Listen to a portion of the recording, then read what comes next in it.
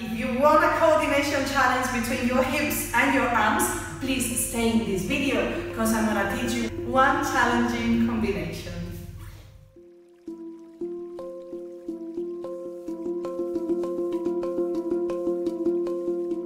Arms go like this, very slowly.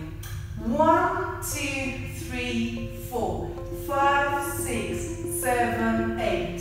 One, two, three, four, five, six, seven, eight. One more time.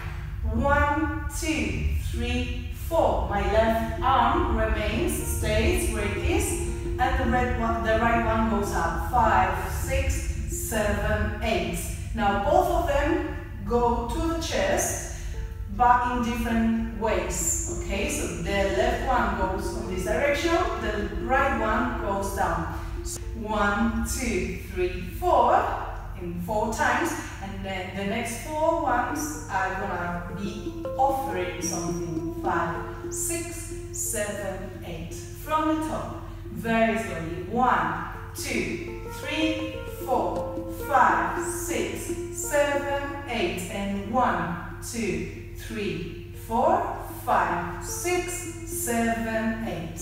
Now the challenge comes when we add the hips.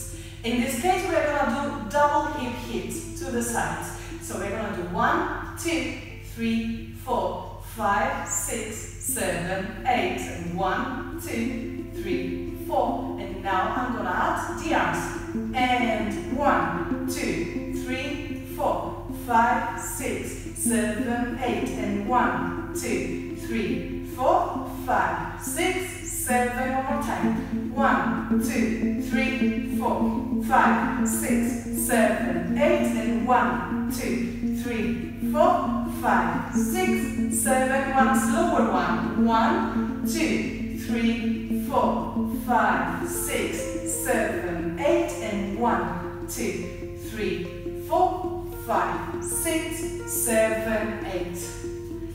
And that was the challenge.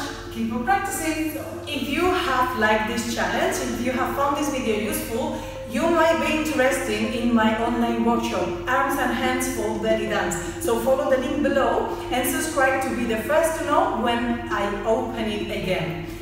Thank you very, very much for watching. Ah, of course, please don't forget to uh, thumbs up in YouTube, subscribe to my YouTube channel, and thank you, thank you very much for watching. See you in the next video.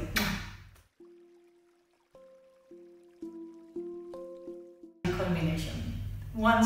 One, uh, one, one challenging.